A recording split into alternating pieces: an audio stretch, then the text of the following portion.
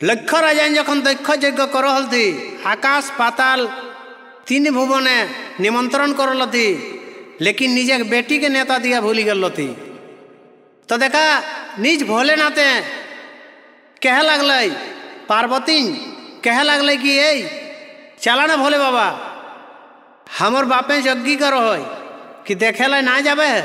না না না না না না, বিনা নিমন্ত্রণে গুরু কর বাড়ি নাই জানা চাই তখন দেখা, সেই পার্বতী রাগে দুকে একাই চলে গেলতি বাপঘর আর যাইকে যাইকে, বাবা ভোলেনাথে কহ কি তোর এটা কি জামাই নাই লাগো?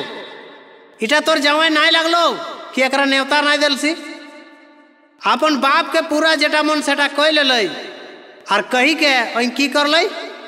না, সেই জগ্গিটা ঝাঁপ দিয়ে দিল ঝাঁপ যখন দিয়ে দিল তখন দৃষ্টিরূপে বাবা ভোলেনাথে দেখিলে লই কি পার্বতী যজ্ঞিন দেলে ঝাঁপ দই। তখন বাবা ভোলেনাথ পাগল হয়ে গেল আর সেই যাইকে কহ হয়। হাতে লাঠি গোলাই ফাঁসি।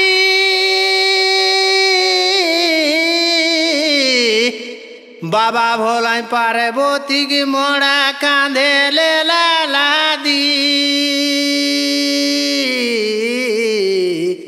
সাক্ষী রহা গ্রামবাসী হো,